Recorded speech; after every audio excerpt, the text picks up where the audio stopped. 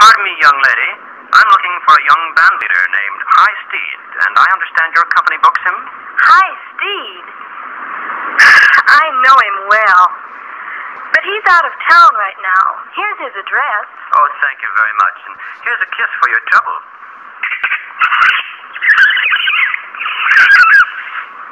Oh, you great big brute.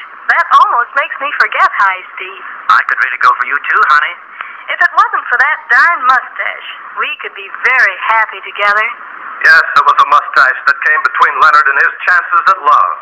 He vowed then and there he'd find a woman somewhere without a mustache.